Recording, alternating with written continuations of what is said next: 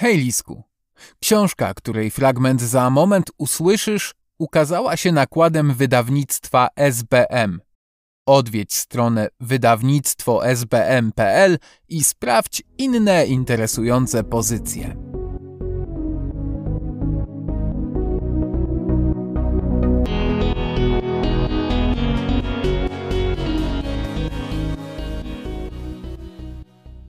Detektyw Zagadka Dziwny wtorek profesora Piątka Tekst Iwona Czarkowska Ilustracje Maciej Maćkowiak Trzynasty guzik dozorcy Pan Zagadka, Basia i Bartek wybrali się na spacer nad rzekę. Na podwórzu detektyw potknął się o miotłę. Bardzo dziwne, mruknął. To miotła dozorcy, a pan wiaderko nie zostawiłby takiego bałaganu. Coś się na pewno stało. Chodźmy do niego natychmiast. Dozorca siedział na krześle przy kuchennym stole i miał bardzo zmartwioną minę. Czy wszystko w porządku? zapytał z troską pan zagadka. Tak, odpowiedział dozorca. A właściwie to nie. Mam kłopot z guzikami. Z guzikami? Zdziwili się chórem pan Zagadka, Basia i Bartek. Tak, od domofonu, przytaknął dozorca. Zawsze było ich dwanaście, a dzisiaj naliczyłem trzynaście. Nie mogę być dozorcą, jeśli nie wiem, ile mieszkań jest w mojej kamienicy. Muszę odejść. Przyjrzymy się temu guzikowi, zaproponował pan Zagadka.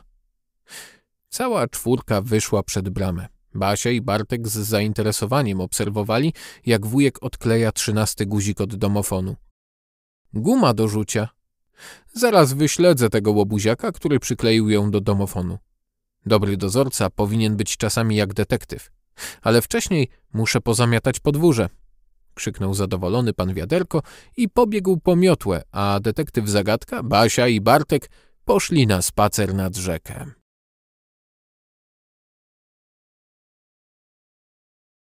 Tajemnica starego zegara Co się stało? zapytał pan zagadka, patrząc z uśmiechem na Basię i Bartka. Przeskrobaliście coś? Przyznajcie się. Jak wujek się tego domyślił? zdziwił się chłopiec. Zapomniałeś, że jestem detektywem? uśmiechnął się pan zagadka. Już pół godziny siedzicie nad budyniem czekoladowym i żadne z was nie zjadło ani jednej łyżeczki. No, to co się stało? Bo ten stary zegar, zaczęła Basia. Ten drewniany, który wisi na ścianie w zielonym pokoju, dodał Bartek. Bardzo nam się podobał i chcieliśmy zajrzeć do środka, szepnęła Basia. Ale niczego nie dotykaliśmy, zapewnił chłopiec. Popatrzyliśmy i powiesiliśmy go z powrotem, ale wtedy on przestał chodzić.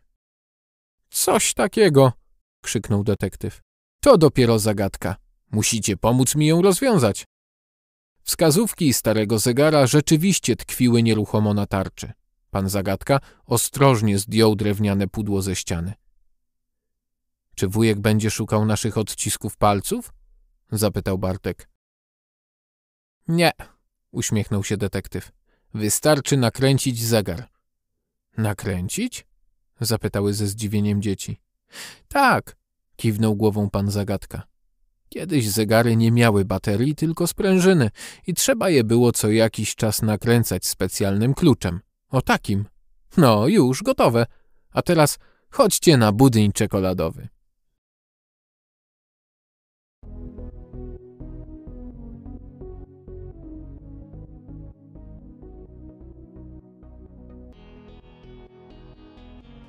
Hej, Lisku. Czytał tata Mariusz, czyli Mariusz Rzepka. Dzięki, że jesteś i do usłyszenia.